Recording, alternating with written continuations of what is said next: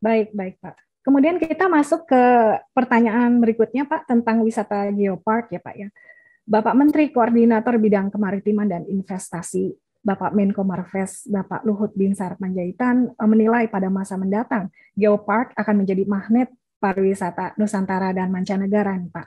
Karena itu Indonesia perlu mengawal konsep Geopark dalam Perpres nomor 9 tahun 2019. Nah, saat ini bagaimana sih Pak perkembangan Geopark Geopark sendiri yang ada di Indonesia? Apakah sudah bisa menjadi magnet pariwisata baik dalam serta luar negeri, Pak?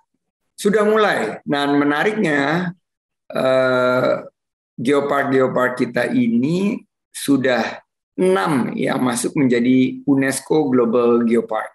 Dan ini menjadi bagian utama dalam penciptaan peluang usaha kelestarian lingkungan dan juga penciptaan lapangan kerja. Target kita tahun ini di 2022 1,1 juta lapangan kerja baru dan berkualitas di sektor parekraf.